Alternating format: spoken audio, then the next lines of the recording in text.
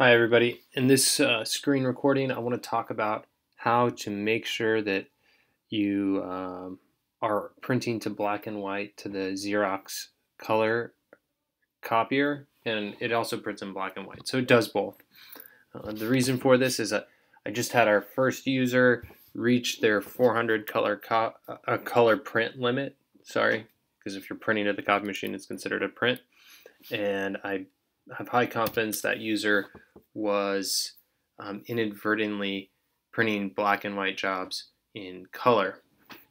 And the reason this is so important is because it costs 10 times as much to print in color as it does to print in black and white. So if you print 5,000 or 500 color jobs, that costs just as much as 5,000 black and white jobs, which is a full box of paper. So think of it as like one ream of paper uh, in color cost as much as a full box of paper in black and white.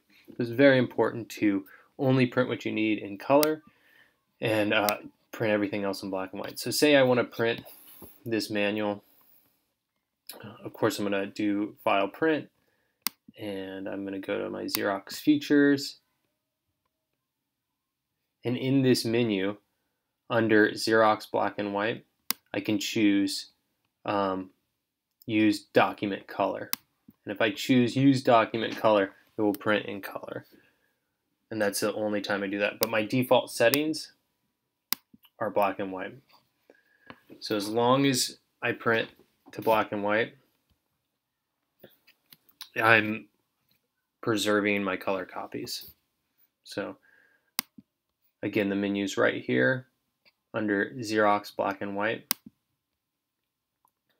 If you want to print in color, you go to color there. If you want to print in black and white, print there. So make sure when you're uh, printing black and white that uh, you have this setting set to on for black and white, not color.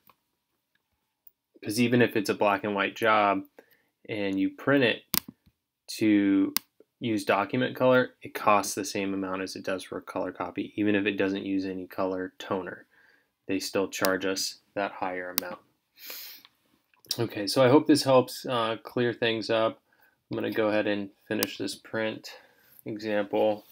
There's my accounting ID, click OK, and it'll go to the printer. So again, it's very important to make sure you only print what you need in color and that you understand, more, most importantly, you understand how to make sure you're printing in color or black and white to the new copy machine. All right, thanks everyone. Bye.